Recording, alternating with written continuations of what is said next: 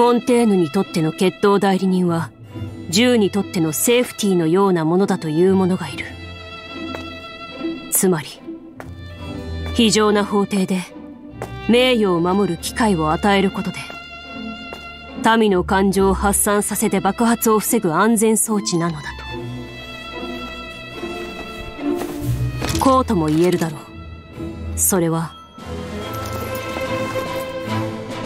法を疑い犯そうとする愚かな連中から皇帝の尊厳を守るために保有する。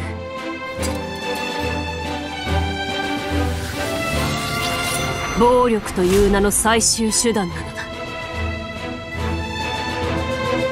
被告人紹介代表メスカル。それはこう受け取ってよろしいか。法を蔑み審判を拒絶し他の手段で所属する紹介の名誉を守りたいと。その通りだ。決闘を申し込む。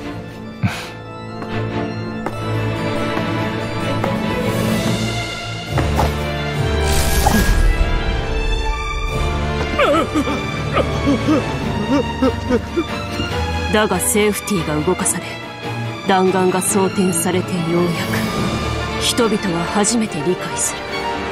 この黒い銃口に直面する恐怖。決闘が承認された以上撤回は認められない。